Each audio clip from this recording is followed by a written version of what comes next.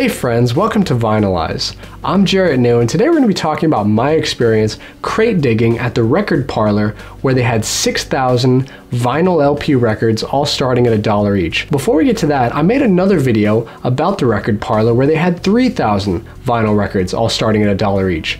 And that was actually my first time checking out the Record Parlour, so if you haven't seen that video, I highly recommend you do so. What was different about this time was that not only did they have twice the amount of records, but these records were a wide assortment of lots of different genres of music, whereas the first time was uh, mostly just DJ records. I found out about this event by going into Facebook, and immediately those 6,000 records kind of caught my eye.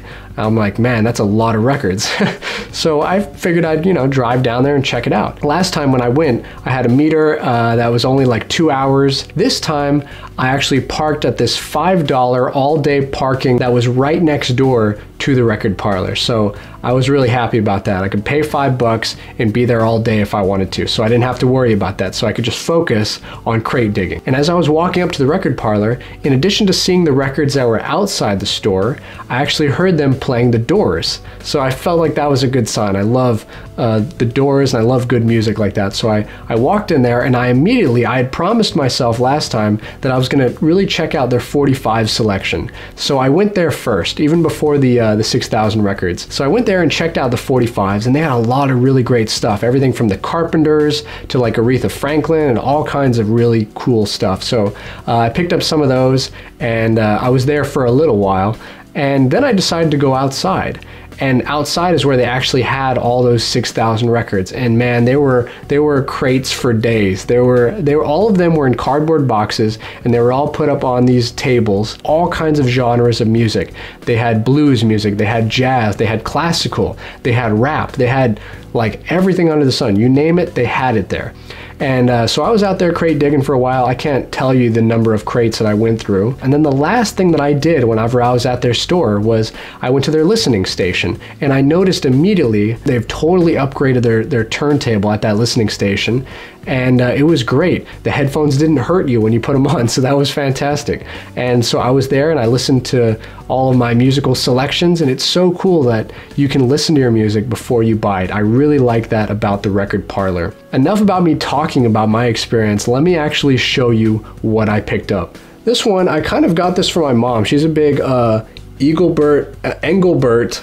Humperdinck it's kind of a hard name to say. She's a big fan of him, and uh, this record was in good condition. I listened to it at the uh, listening station, and uh, yeah, I figured she would like it, so I can play this for her sometime. This one uh, is um, an industrial album. This is by a band called Determ. Might, the band name might be longer than that, but the sticker's blocking it. And what's neat about it is it's just a white label on this side and on this side. So it gives you no musical information about it. Um, you know, sometimes it's fun to buy records that you have absolutely no idea what the music is. And then I got some good 45s here. I got uh, three 45s. First off, we got Nat King Cole. Beautiful, beautiful music. I listened to this one while I was there and it is phenomenal. I love Nat King Cole. That old timey music is just fantastic. And he was one of the best singers like alive. So I really like, I'm, I'm really gonna enjoy listening to this one. Then I got uh, the Carpenters. I really like the Carpenters too. I mean, I'm a sucker for female vocalists. Karen Carpenter uh, was amazing. And uh, this is Make Believe It's Your First Time on this side. And then on this side, it is Look to Your Dreams. And the final 45 I got, and this one I think is really cool because it's still sealed. This is Diana Ross, Remember Me on this side, and How About You on this side.